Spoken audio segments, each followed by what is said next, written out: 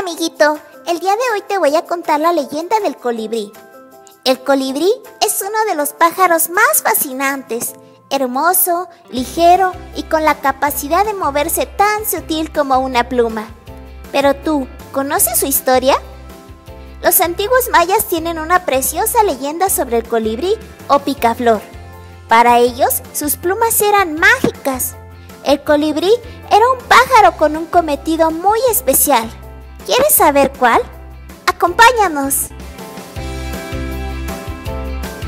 Los mayas más sabios cuentan que los dioses crearon todas las cosas en la tierra y al hacerlo, a cada animal, a cada árbol, a cada ave y a cada piedra le encargaron un trabajo.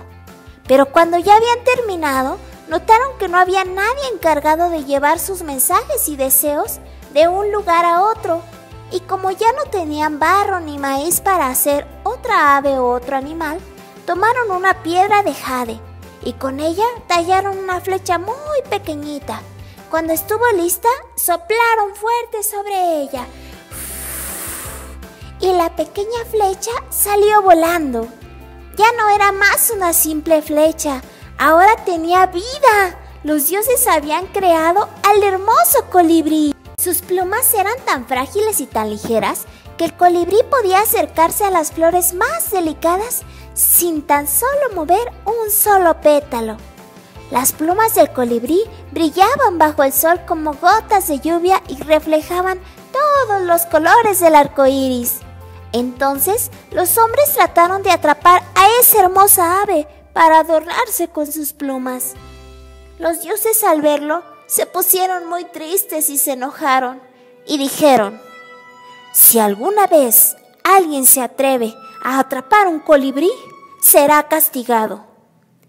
Por eso es que nadie ha visto alguna vez a un colibrí enjaulado, ni mucho menos atrapados entre las manos de los hombres.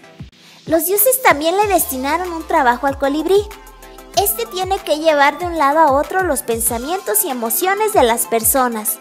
De esta manera, cuenta la leyenda maya que si ves un colibrí es que alguien te ha enviado buenos deseos de amor.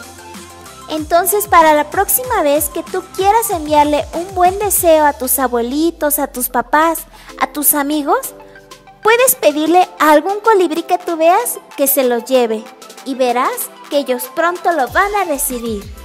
Por eso, amiguito, cada que tú ves un colibrí, por favor, no lo maltrates ni lo mates. Cuídalo mucho y defiéndelo, porque él es muy pequeñito y necesita de tu protección.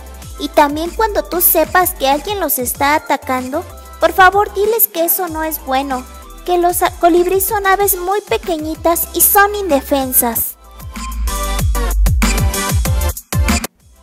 Esperamos que te haya gustado la hermosa leyenda maya del colibrí.